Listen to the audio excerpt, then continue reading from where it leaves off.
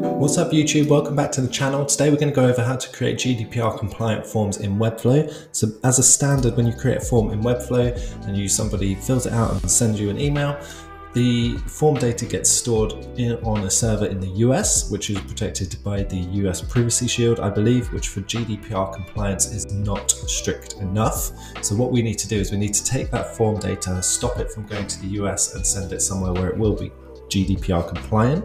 The best way to do this we've found at our studio is to hook it up to FormSpark. This is a really great solution. Um, the pricing is great and the data is then stored in Ireland which is apparently GDPR compliant, which is great. And if we have a look at the pricing here on FormSpark for free, zero dollars, you get 250 form submissions, which is quite a lot. And then if you want to upgrade, it's just a $25 one-time purchase for 50,000 submissions, which I feel isn't more than enough for a lifetime. So there's no kind of monthly fee here. A lot of these solutions do charge you a monthly fee, and we found this one is really great. Um, the UI is really good. So when you receive an email into your inbox, it's formatted really nicely. It's really easy to see. The dashboard is great. It's really easy to operate. And then in terms of um, spam prevention, we're going to configure Botpoison, which is quite a simple setup as well. We'll go through it here. And this, the pricing for Botpoison, you get 250 verifications per month, which is quite a lot. And then you can see it's quite cheap to go up to the next tiers should you need to. So let's jump into FormSpark, Webflow and Botpoison and get cracking.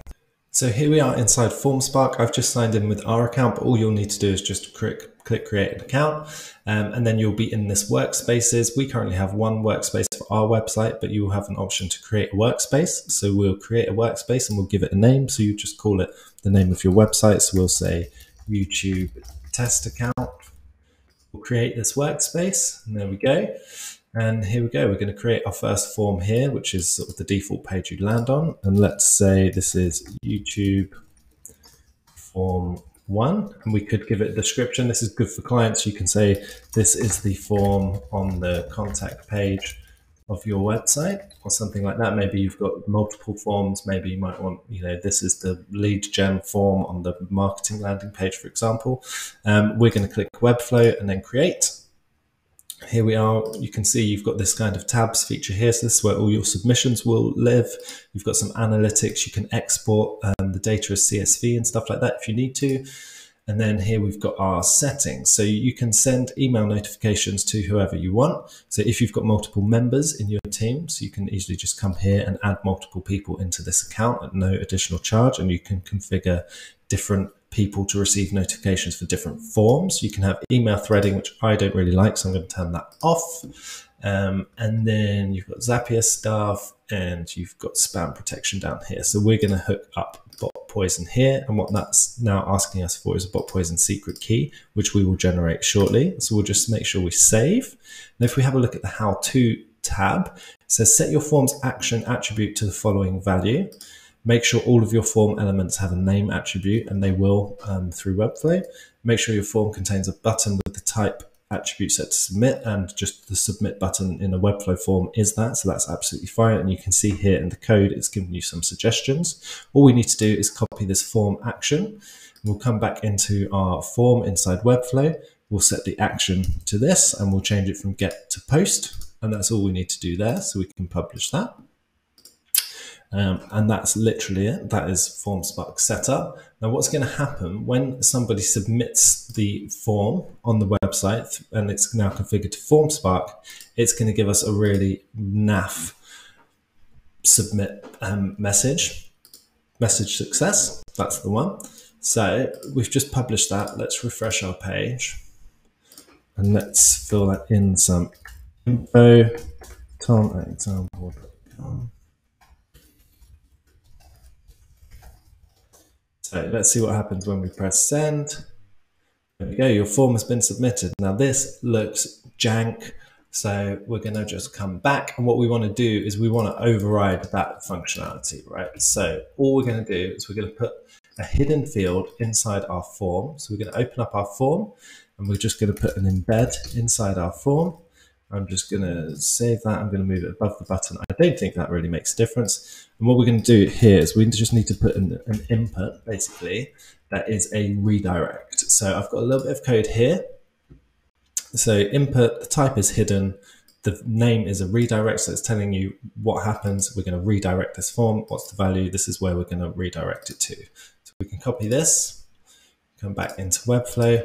We'll just paste it in here. I'll zoom in a little bit. And we need to, therefore, we need to have a design for a thank you page or a sent page. So we have got one here. So we can just grab this URL here. So this is one that we've created. And we'll just paste this in here. So now we're saying when somebody submits this form, we're going to redirect you to this page. We're going to press save. We're going to publish.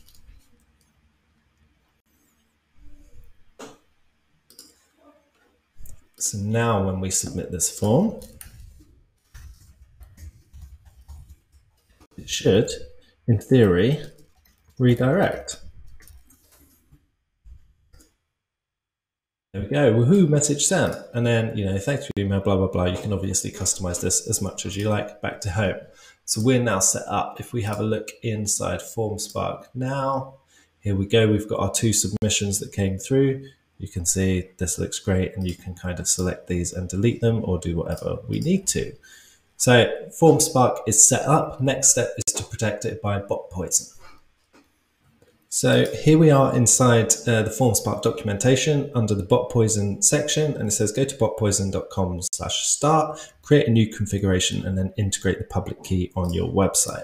And there's the link to instructions. So once you've created an account, there'll be a button to create a configuration. We'll call this YouTube test. You would put in the name of your website. We press create, and that's all we needed to do. We've now got a public key and a secret key. So it said, um, did we, we opened this a new tab? Here we go. So this is the link for integrating the public key on your website. So basically it says import the browser script. So that's this one. So what we want to do is we want to put that in the, the settings of our project into the head tag. So if we come to settings, custom code, we'll just paste that in there. That looks good to me. And we'll come back to designer. And then it says add your public key to the data bot poison public key attribute. So this is onside the, in the form. So you can see here we've got a form with the action set to, we know we've overridden that with FormSpark. And then it says give it an attribute of this, and then your public key would be the value. So if we come back to Webflow, we grab our form. So you could, I think you can do this on the form or the inner wrapper of the form. I always do it on this form section here where we put the action. We'll go custom attributes and zoom in a little bit for you. There's the thing, and we'll just cut this for now, and we'll come and grab our public key.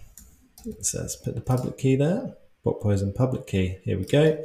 So we'll just come in here and we will add the public key. Done.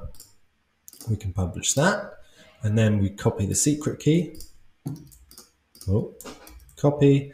And what does it say to do? It says, it doesn't say anything else there, but we can come back here. So we've integrated the public key on our website. That's done. Copy the secret key, open FormSpark in form settings, select bot, Botpoison and paste the secret key in. So we come back to FormSpark, settings on this YouTube form. We come down, we're going to put in Botpoison, and now we can put in the secret key, press save, and we are done, guys. The form is now configured. It redirects to a custom page.